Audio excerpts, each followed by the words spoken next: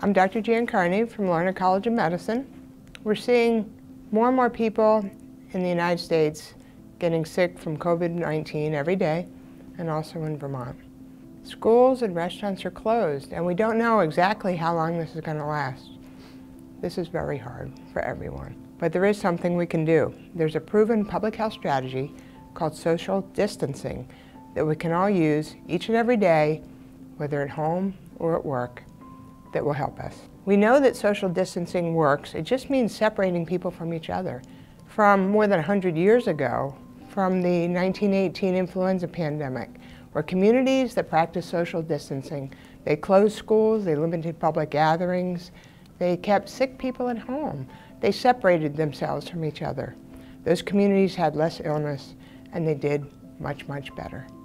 We can do the same thing today. What does social distancing look like? What does it mean? For people, it means staying six feet away from each other. Instead of a handshake or a hug, we greet each other with a smile or just a wave. We stay home when we're sick. We wash our hands frequently. And in workplace settings, sometimes we work at home.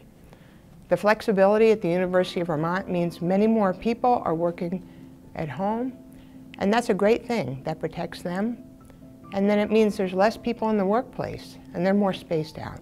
Some of the other things we can do are to not have face-to-face -face meetings. Use our technology, Microsoft Teams, Zoom, Skype, and the telephone to see each other's faces and hear each other's voices. I think that's especially important right now. I know this is hard, and as the situation is changing, we're monitoring those recommendations and what is happening here in our own community, in the state of Vermont, and across our country. And we'll change as those recommendations change.